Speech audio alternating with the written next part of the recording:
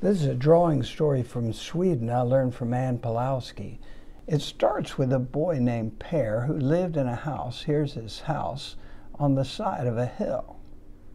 See, it kind of leans onto this hill there.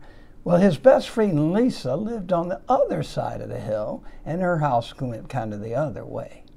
And on the day of this story, Lisa called up Per and said, Per, why don't you come on over and we'll jump off my back porch and go tumbling down the hill? He thought that was a great idea, so he ran over to her house. They went out to the back porch and they jumped and went tumbling down the hill. Whoa! Whoa! Oh no! What? What? I ripped my pants! I got to go back home. Okay, let's go back up. So they went back up the hill and they got pretty far when they slipped and went tumbling again. Oh no! Whoa! Oh no! I ripped my! Oh, we've got to get home. Come on, let's go. Oh, my mom's got to sew these up for me. And when they got home, oh no, his mom was not home. Don't worry, she said. My uncle's a tailor and he can sew things and he's visiting. Come on over. So they went over to her house again, Lisa's house, and her uncle started working. And he sewed and he sewed and he sewed and he sewed.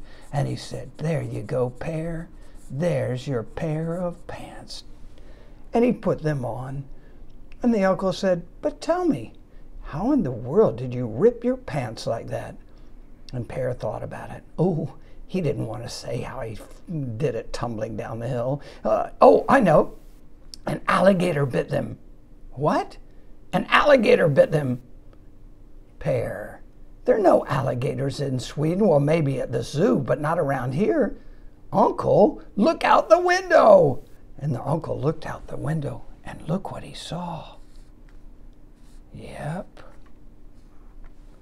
Yep. Yep. It's true.